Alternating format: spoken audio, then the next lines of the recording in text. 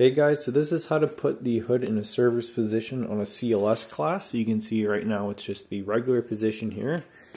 We're going to go over to the side of the hood where the where the hood latch is and we're going to have to operate it off of this little tab here.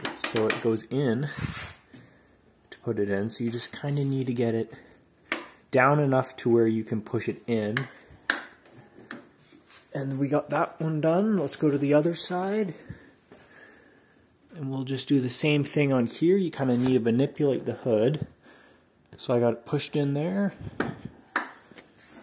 And then you can see once they're actually pushed in, you can take the hood and put it to uh, mass direction there.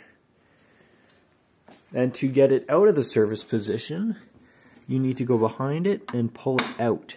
So you're going to have to do manipulating of the hood again kind of uh, get one side out,